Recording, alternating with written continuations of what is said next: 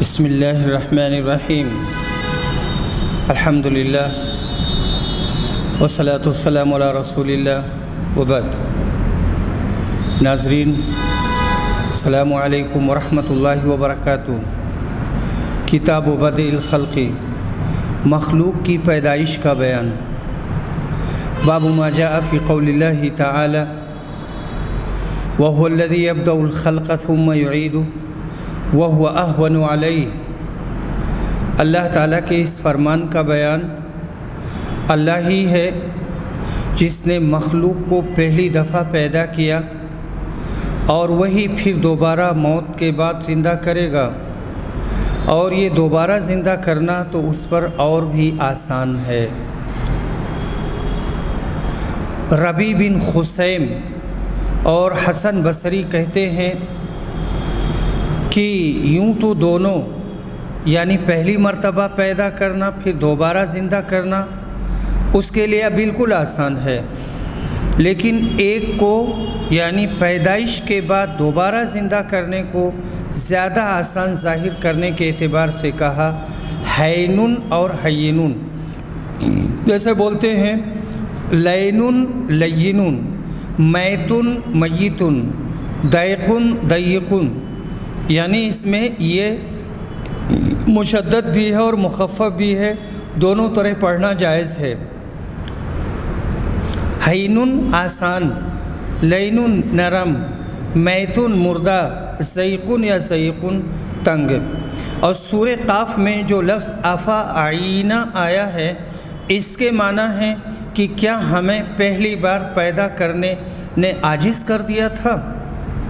जब उस खुदा ने, उस अल्लाह ने तुमको पैदा कर दिया था और तुम्हारे मादे को पैदा किया और उसी सूरत में और उसी सूरत में अल्लाह ताला के इर्शाद लगूब के माना थकन के हैं। और सूर नूह में फ़रमाया, अतवारा। इसके माना ये हैं कि मुख्तलिफ़ सूरतों में तुम्हें पैदा किया। कभी नुतफ़ा, ऐसे खून की फुटकी फिर फिर गोश्त पर, फिर गोश्त, फिर हड्डी, पोस्त। अरब लोग बोला करते हैं आदा तौरहू यानी फ़ुला, अपने मर्तबा से बढ़ गया। यहाँ अतवार के माने रुतबे के हैं। हदीस नंबर तीन हज़ार एक सौ नब्बे। इमरान बिन हुसैन रिवायत करते हैं कि बनी तमीम के कुछ लोग नबी सल्लल्लाहु अलैहि वसल्लम की खिदमत में आए।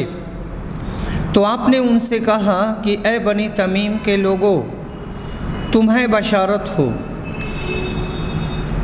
वो कहने लगे कि, बशारत जब आपने हमको दी है तो अब हमें कुछ माल भी दीजिए। इस पर रसूल अकरम के चेहरे मुबारक का रंग बदल गया। फिर आपकी खिदमत में यमन के लोग आए। तो आपने उनसे भी फरमाया अय यमन वालों, बनु तमीम के लोगों ने तो खुशखबरी को कबूल नहीं किया। अब तुम उसे कबूल कर लो। उन्होंने कहा कि हमने कबूल किया। फिर आप मखलूक और अरश इलाही की इब्तदा के बारे में गुफ्तगु करने लगे। इतने में एक शख्स आया, नामालूम शख्स आया और कहा कि इमरान तुम्हारी ऊँटी भा, ऊँटनी भाग गई। इमरान कहते हैं काश मैं आपकी मजलिस से ना उठता तो बेहतर होता। नबी अकरम ने बनु तमीम को इस्लाम लाने की वजह से आखरत की भलाई की खुशखबरी दी थी। बनी तमीम के लोगों ने अपनी कमकली से ये समझा कि आप दुनिया का मालो दौलत देने वाले हैं।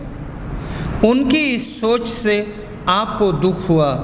कहते हैं कि ये मांगने वाला अकरा बिन हामिस, अकरा बिन हाबिस नामी एक बद्दू था या जंगली आदमी था। हदीस नंबर तीन हज़ार एक सौ इक्यानवे। तो यहाँ जो पहले हदीस गुजरी है, उसमें अर्श वग़ैरह का तस्करा है, यही महल शाहिद है। हदीस नंबर तीन हज़ार एक सौ इक्यानवे। इमरान बिन इमरान बिन हुसैन रिवायत करते हैं कि मैं नबी वसल्लम की खिदमत में हाजिर हुआ। और अपने ऊँट को मैंने दरवाजे ही पर बाँध दिया। इसके बाद बनी तमीम के कुछ लोग आपकी खिदमत में आए। आपने उनसे फरमाया ए बनु तमीम, खुशखबरी कबूल करो। उन्होंने दो बार कहा कि जब आपने हमें खुशखबरी दी है तो अब माल भी दीजिए। फिर यमन के चंद लोग खिदमत नबवी में हाजिर हुए। आपने उनसे भी यही फरमाया कि खुशखबरी कबूल कर लो, ए यमन वालों। बनु तमीम वालों ने तो कबूल तो तो कबूला नहीं। वो बोले, या रसूल अल्लाह खुशखबरी हमने कबूल की। फिर वो कहने लगे, हम इसलिए हाजिर हुए हैं ताकि आप इस आल, इस आलम की पैदाइश का हाल पूछें।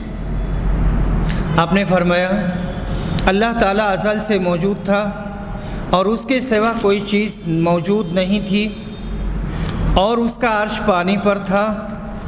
लोहे महफूज में उसने हर चीज़ को लिख लिया था। फिर अल्लाह ताला ने आसमान और ज़मीन को पैदा किया। अभी ये बातें हो ही रही थीं कि एक पुकारने वाले ने आवाज़ दी कि, इब्नुल हुसैन, तुम्हारी ऊँटनी भाग गई। मैं उसके पीछे दौड़ा। देखा तो वो शराब की आड़ में है। मेरे उसके बीच में शराब हायल है, यानी वो रेती जो धूप में पानी की तरह चमकती है। अल्लाह की कसम मेरा दिल बहुत पछताया कि काश मैंने उसे छोड़ दिया होता और नबी अकरम की हदीस सुन ली होती। हदीस नंबर तीन हज़ार एक सौ बानवे। तारिक बिन शहाब रिवायत करते हैं, कहते हैं कि मैंने उमर बिन ख़त्ताब से सुना। आपने कहा कि एक मर्तबा नबी सल्लल्लाहु अलैहि वसल्लम ने मेरे मिंबर पर मिंबर पर खड़े होकर हमें वाज फरमाया और इब्तदाई खल्क़ के बारे में हमें बताया। यहाँ तक कि जब जन्नत वाले अपनी मंजिलों में दाखिल हो जाएँगे और जहन्नम वाले अपने ठिकानों को पहुँच जाएँगे, वहाँ तक सारी तफसील को आपने बयान फरमाया। जिसे इस हदीस को याद रखना था, उसने याद रखा और जिसे भूलना था, वो भूल गया। इस हदीस से मालूम हुआ कि अल्लाह के सिवा सब चीज़ें हादिस और मखलूक हैं। अर्श, फ़र्श, आसमान और ज़मीन सब में इतनी बात है कि अर्श इसका और सब चीज़ों से पहले वजूद रखता था। मगर हादिस और मखलूक वो भी है, हदीस हो जाएगी यानी फ़ना हो जाएगी। गरज इस हदीस से हुक्म हुकमा का मज़हब बातिल हुआ, जो अल्लाह के सिवा मादे और इदराक, यानी अक्ल और आसमान और ज़मीन, सब चीज़ों को कदीम मानते हैं। और उन सूफिया का भी रद्द हुआ, जो रूह है इंसानी को मखलूक नहीं कहते।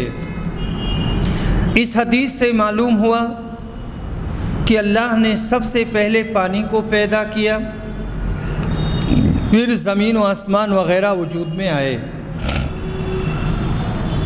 हदीस नंबर तीन हज़ार एक सौ तिरानवे।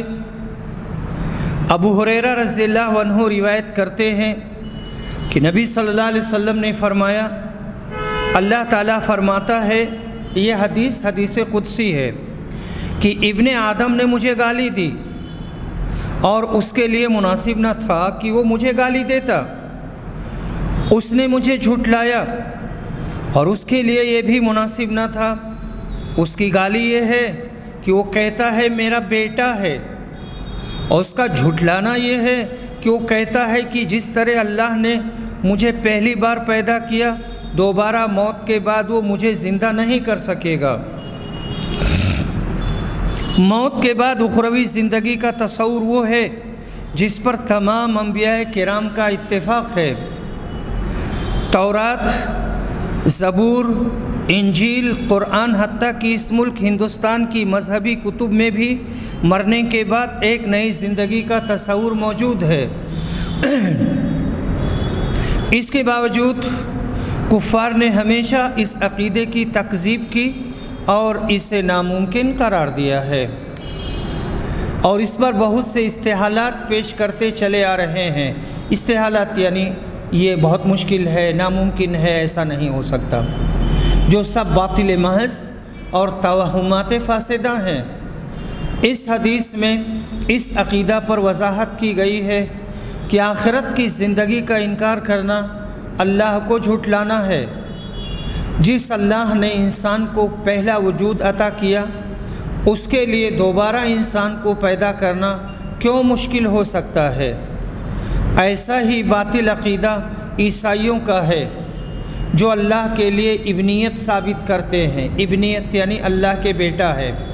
हालाँकि शान बारी ताला के ऊपर बहुत ही बेहुदा इल्ज़ाम है। वो अल्लाह ऐसे इल्ज़ाम से मुबर्रा है और ऐसी बेहुदा बात मुँह से निकालना और ईसा अलैहिस्सलाम को अल्लाह का बेटा करार देना बहुत बड़ा झूठ है, जो सरासर गलत, बैदस अक़ल व बेहूदगी है। अल्लाह ताला ने फरमाया है, कुल अल्लाह अहद, अल्लाह समद लम यलिद वलम यूलद वलम कुल्लहु कुफुवन अहद। हदीस नंबर तीन हज़ार एक सौ चौरानवे अलैह। अबू हुरैरा रज़ील्ला रिवायत करते हैं, कहते हैं कि रसूल अकरम ने फरमाया, जब अल्लाह ताला मखलूक को पैदा कर चुका तो अपनी किताब में, यानी लोहे महफूज में जो उसके पास अर्श पर मौजूद है, उसने लिखा कि मेरी रहमत मेरे गज़ब पर गालिब है। इस हदीस से भी इब्तदाए खल्क पर रोशनी डालना मकसूद है। सिफ़ात इलाही के लिए जो अल्फाज वारिद हुए हैं, उनकी हकीकत अल्लाह के हवाले करना और ज़ाहिर पर बिला चूँ चरा ईमान लाना, यही सलामती का रास्ता है।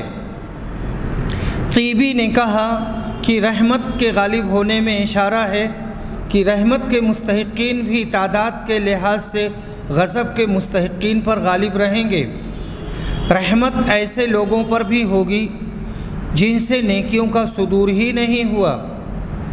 बरखिलाफ़ इसके कि गज़ब उन्हीं लोगों पर होगा जिनसे गुनाहों का सुदूर साबित होगा।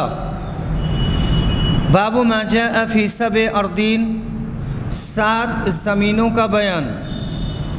और अल्लाह के इस फरमान की तफसीर, अल्लाहुल्लज़ी खलक़ सब असमावातिन वमन वमिन अर्द मिसलहुन्ना यतनज़लमर बैनहन लतलम अला कुल्ल शैइन कदीर। व अल्लाह कद अहात बिकुल्ल शैइन इल्मा। अल्लाह ताला ही वो ज़ात है जिसने पैदा किए सात आसमान। और आसमान ही की तरह सात ज़मीनें। अल्लाह ताला के अहकाम उनके दरमियान उतरते हैं। ये इसलिए ताकि तुमको मालूम हो कि अल्लाह हर चीज़ पर कादिर है और अल्लाह ने हर चीज़ को अपने इल्म के एतबार से घेर रखा है। और सूर तूर में व सक़फ़िल मरफू से मुराद आसमान और सूर व नाज़ात में रफ़ा सम कहा से सम कहा है। सम के माना बिना इमारत के हैं। और सूर अजारियात में जो हुबुक का लफ्ज़ आया है, इसके माना बराबर होना, यानी हमवार और ख़ूबसूरत होना। और सूर इज़त इज़्ज़मा उन शक्क़त में जो लफ्ज़ अदीनत है, इसका माना सुन लिया और मान लिया। और लफ्ज़ अलकत का माना जितने मुर्दे उसमें थे, उनको बा, निकाल कर बाहर डाल दिया। खाली हो गई, यानी कब्र खाली हो गई। और सूर व शम्स में जो लफ्ज़ तहा है, इसके माना बिछाया। और सूर व नाज़ियात में जो भी साहिरा का लफ्ज़ है, इसके माना रुए ज़मीन के हैं। वहीं जानदार रहते, सोते और जागते हैं। जिनके लिए लफ्ज़, जिनके लिए ज़मीन गोया एक बिछौना है, जो अल्लाह पाक ने ख़ुद बिछा दिया है।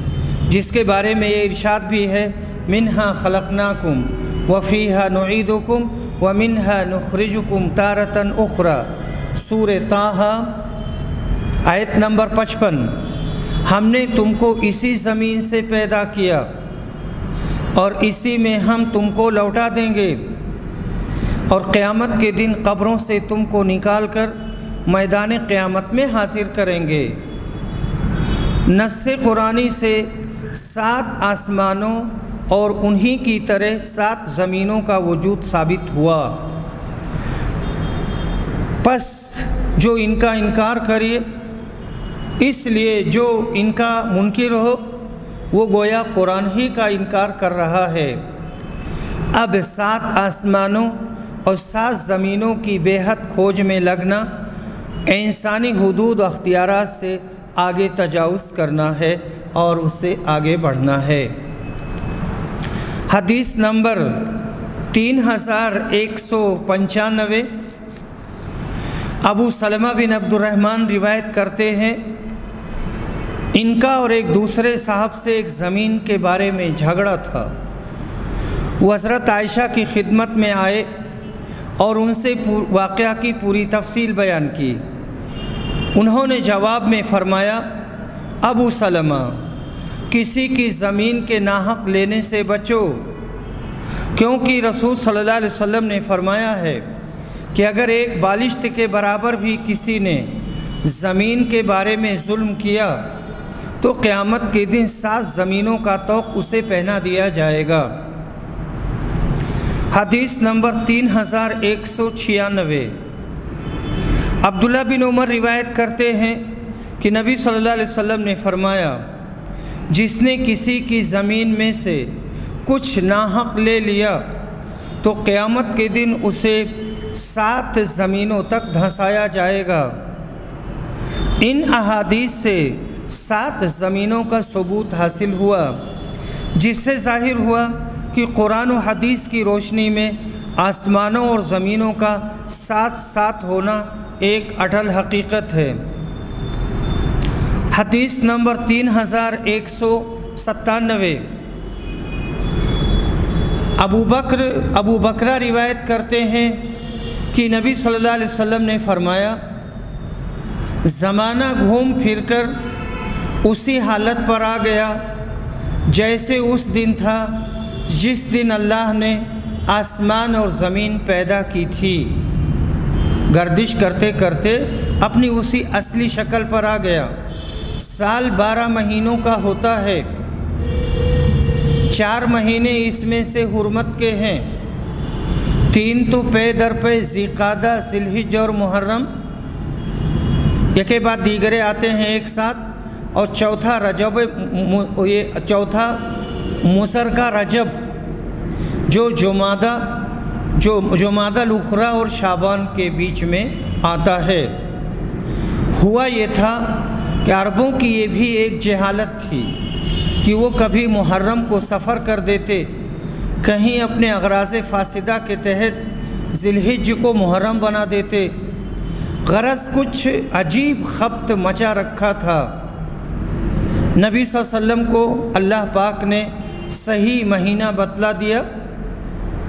ज़माना के घूम आने से यही मतलब है कि जो असल महीना उस दिन से शुरू हुआ था जिस दिन उसने ज़मीन व आसमान पैदा किए थे, उसी हिसाब से अब सही महीना कायम हो गया। इससे कमरी महीनों की फजीलत भी साबित हुई, जिनसे माह साल का हिसाब ऐन फितरत के मुताबिक है। जिस दिन, जिसका दिन शाम को ख़त्म होता और सुबह से शुरू होता है, इसका महीना कभी तीस दिन का और कभी उनतीस दिन का होता है। इसका हिसाब हर मुल्क में रुएत हिलाल पर मौकूफ़ है। हदीस नंबर तीन हज़ार एक सौ अट्ठानवे। सईद बिन जैद बिन अम्र बिन नुफ़ैल ये रिवायत करते हैं कि अरवा बिनते अबी अवस्थ से इनका एक ज़मीन के बारे में झगड़ा हुआ, जिसके मुतालिक अरवा कहती थी कि सईद ने मेरी ज़मीन छीन ली।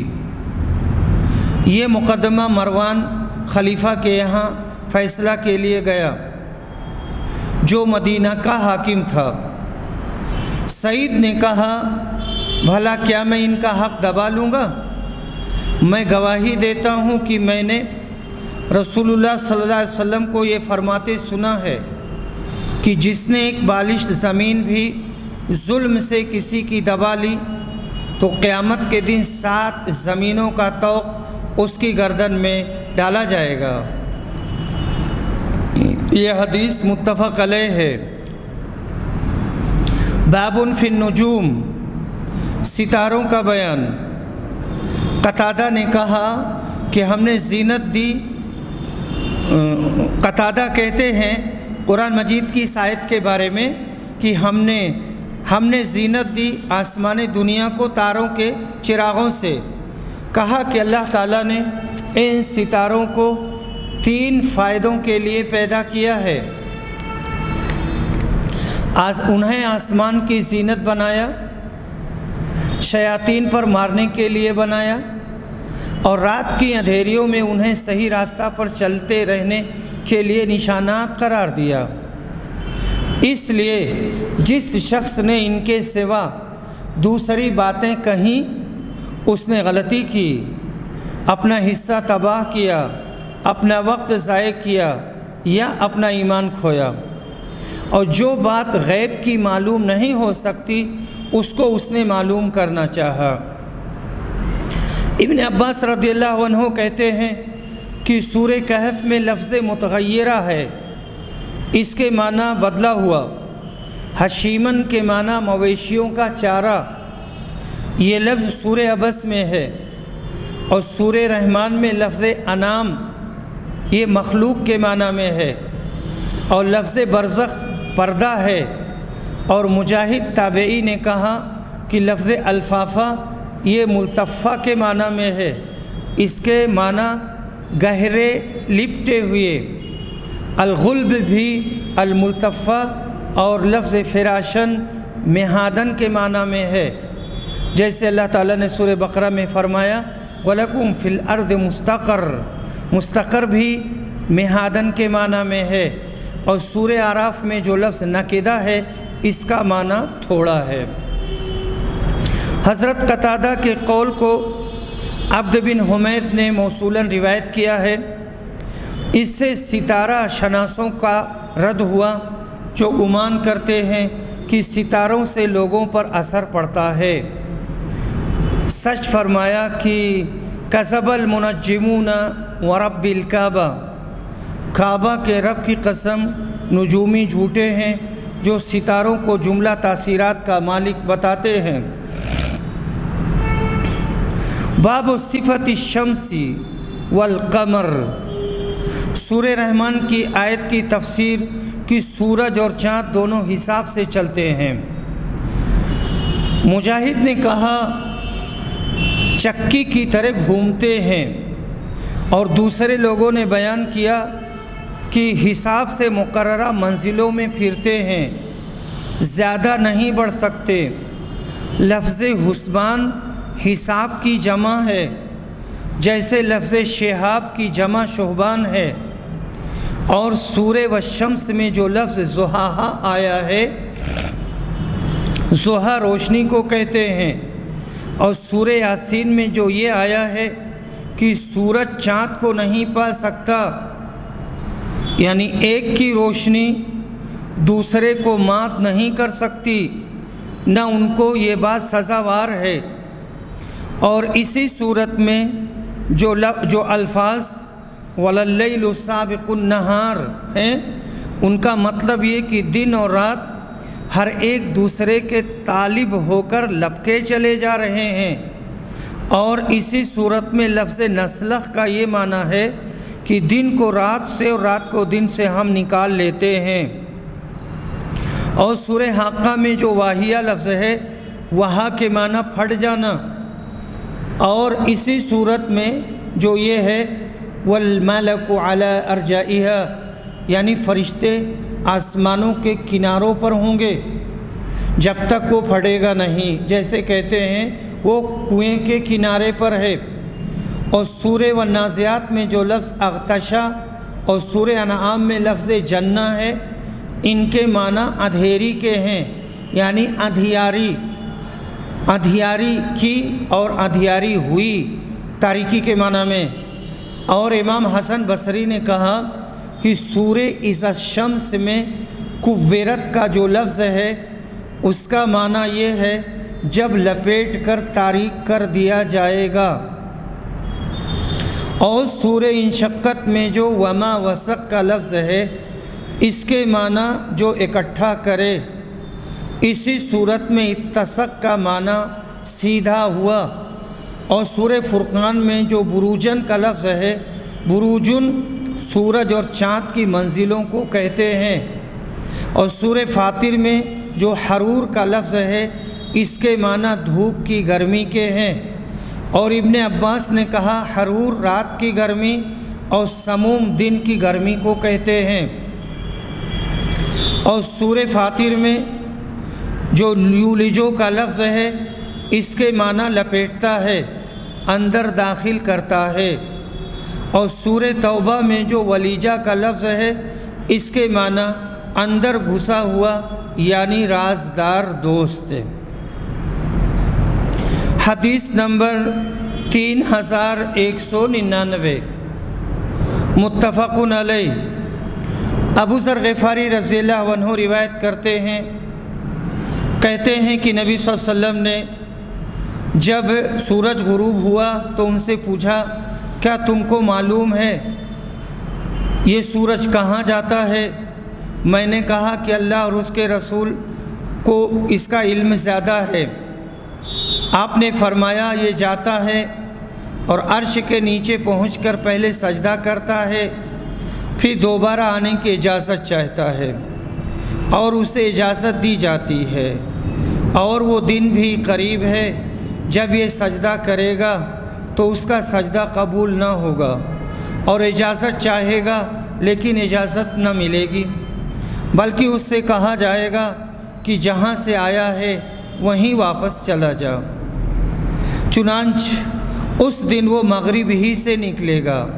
अल्लाह ताला के फरमान व शम्स तजरी मुस्तकर ज़ालिक तकदीरज़ीज़ीम में इसी तरफ़ इशारा है। इस हदीस में मुनकरीन हदीस ने कई इश्काल पैदा किए हैं। एक ये कि सूरज ज़मीन के नीचे जाता है, न अर्श के नीचे। और दूसरी में, और दूसरी रिवायत में मजमून मौजूद है, तगरुब फ़ी आइन हमिया। दूसरे ये कि ज़मीन और आसमान गोल गोल कुर्रे हैं या गोल कुर्रे हैं तो सूरज हर वक्त अर्श के नीचे है। फिर ख़ास गुरूब के वक्त जाना क्या माना? तीसरे सूरज एक बेरूह और बेअक्ल जिस्म है। इसका सजदा करना और इसको इजाज़त होने का क्या माना? चौथे अक्सर हकीमों ने मुशाहिदा से मालूम किया है कि ज़मीन मुतहरिक और सूरज साकिन है तो सूरज के चलने के क्या माना? पहले इश्काल का जवाब ये है कि ज़मीन कुरवी हुई तो हर तरह से अर्श के नीचे हुए। इसलिए गुरूब के वक्त ये कह सकते हैं कि सूरज ज़मीन के नीचे गया और अर्श के नीचे गया। ये पहले इश्काल का जवाब है। दूसरे इश्काल का जवाब ये है कि बेशक हर नुक्ते और हर मकाम पर सूरज अर्श के नीचे है। और वो हर वक्त अपने मालिक के लिए सजदा कर रहा है और उससे आगे बढ़ने की इजाज़त मांग रहा है। लेकिन चूँकि हर मुल्क वालों का मगरब और मशरक़ मुख्तलफ है, इसलिए तुलु और गुरूब के वक्त को ख़ास किया। तीसरे इश्काल का जवाब ये है कि ये कहाँ से मालूम हुआ कि सूरज बेजान और बेअक्ल है। बहुत सी आयात व हदीस से सूरज और चाँद और ज़मीन और आसमान सब का अपने अपने दर्जा में साहिब रूह होना साबित है। चौथे इश्काल का जवाब ये है कि बहुत से हकीम इस अम्र के भी कायल हैं कि ज़मीन साकिन है और सूरज उसके गिर्द घूमता है और इस बारे में तरफ़ैन के दलाइल मुतारज़ हैं और ज़ाहिर कुरान हदीस से तो सूरज और चाँद और तारों ही की हरकत निकलती है। मुख्तसर अज़ वहीदी आयत मुबारक व शम्स तजरी मुस्तकर कहते हैं, इसमें मुस्तकर से मुराद बक़ाए आलम का इनकता है। हदीस नंबर तीन हज़ार दो सौ। अब हुरैरा रज़ील्ला रिवायत करते हैं कि नबी सल्लल्लाहु अलैहि वसल्लम ने फरमाया, क़यामत के दिन सूरज और चाँद और दोनों सूरज और चाँद दोनों तारीख व बेनूर हो जाएँगे। हदीस नंबर तीन हज़ार दो सौ एक। अब्दुल्ला बिन उमर रज़ील्ला वन्हो रिवायत करते हैं, ये नबी वसल्लम से नकल करते हैं कि आपने फरमाया, सूरज और चाँद में किसी की मौत व हयात की वजह से ग्रहण नहीं लगता, बल्कि अल्लाह ताला की निशानियों में से एक निशानी है। इसलिए जब इनको देखो तो नमाज़ पढ़ा करो। हदीस नंबर तीन हज़ार दो सौ दो। अब्दुल्ला बिन अब्बास रिवायत करते हैं कि नबी वसल्लम ने फरमाया, सूरज चाँद अल्लाह की निशानियों में से दो निशानियाँ हैं। किसी की मौत हयात से इनमें ग्रहण नहीं लगता। इसलिए जब तुम ग्रहण देखो तो अल्लाह की याद में लग जाओ। क्योंकि ये जुमला इनकलाबात कुदरत इलाही के तहत होते रहते हैं। इसलिए ऐसे मौाक़े पर खसूसियत के साथ अल्लाह को याद करना और नमाज़ पढ़ना ईमान की तरक्की का ज़रिया है। हदीस नंबर तीन हज़ार दो सौ तीन। इबन शहाब रिवायत करते हैं कि मुझे उर्वा ने ख़बर दी और उन्हें उम्मुल हज़रत आयशा ने कि जिस दिन सूरज ग्रहण लगा तो रसूल सल्लल्लाहु अलैहि वसल्लम मुसल्ला पर खड़े हुए। अल्लाह अकबर कहा और बड़ी देर तक किरत करते रहे। फिर आपने रुकू किया, एक बहुत लंबा रुकू। फिर सर उठाकर समय अल्लाह लिमन हमीदा कहा, और पहले की तरह खड़े हो गए। इस क़याम में भी लंबी किरत की। अगरचे पहली किरत से कम थी और फिर रुकू में चले गए और देर तक रुकू में रहे। अगरचे पहले रुकू से ये कम था। इसके बाद सजदा किया, एक लंबा सजदा। दूसरी रकत में भी आपने इसी तरह किया और इसके बाद सलाम फेरा तो सूरज साफ़ हो चुका था। अब आपने साहबा को खिताब फरमाया सूरज और चाँद के मुतालिक बताया कि ये अल्लाह की निशानियों में से निशानी है और इनमें किसी की मौत व हयात की वजह से ग्रहण नहीं लगता है। इसलिए जब तुम ग्रहण देखो तो फ़ौर नमाज़ की तरफ़ लपक जाओ। आज चाँद और सूरज के ग्रहण की जो वजह बयान की जाती है, वो भी शान कुदरत ही के मज़ाहिर हैं। लिहाजा हदीस सही और कुरान में कोई इख्तलाफ नहीं है। हदीस नंबर तीन हज़ार तीन हज़ार दो सौ चार। अबू मसूद अंसारी रिवायत करते हैं कि रसूल सल्लल्लाहु अलैहि वसल्लम ने फरमाया, सूरज और चाँद में किसी की मौत या हयात पर ग्रहण नहीं लगता, बल्कि अल्लाह की निशानियों में से निशानी है। इसलिए जब तुम इनमें ग्रहण देखो तो नमाज़ पढ़ो। इन जुमला अहादीस में किसी न किसी तरह चाँद और सूरज का ज़िक्र आया है। इसलिए इनको यहाँ नकल किया गया। इनके बारे में जो कुछ ज़ुबान रसालत माप सल्लल्लाहु अलैहि वसल्लम से मनकूल हुआ, उससे आगे बढ़कर बोलना मुसलमान के लिए जायज़ नहीं है। आज के हालात ने चाँद और सूरज के वजूद को मज़ीद वाज कर दिया है। अल्लाह ताला ने कुरान मजीद में फ़रमाया, ला तस्जुदुलशमसी वला कमर चाँद सूरज को सजदा न करो। ये तो अल्लाह की पैदा की हुई मखलूक हैं। सजदा करने के लकाबिल सिर्फ़ अल्लाह है, जिसने इन सबको वजूद बख्शा है। चाँद में जाने के दावेदारों ने जो कुछ बतलाया है, उससे भी कुरान पाक की तस्दीक होती है। कि चाँद भी दीकर मखलूक़ात की तरह एक मखलूक है। वो कोई देवी, देवता या माफ़ुल माफ़ुल फ़ितरत कोई और चीज़ नहीं है। बाबू माजा फ़ी कौल ही ताला अरसल रियाह बुशरम बैन यद रहमती। अल्लाह ताला के इस फरमान का बयान वही अल्लाह है, जो अपनी रहमत या रहमत से मुराद यहाँ बारिश है। जो अपनी रहमत से पहले खुशखबरी देने वाली हवाओं को भेजता है। सूर बनी इसराइल में कासिफ़न का जो लफ्ज़ आया है, इसके माना सख्त हवा जो हर चीज़ को रौंद डाले।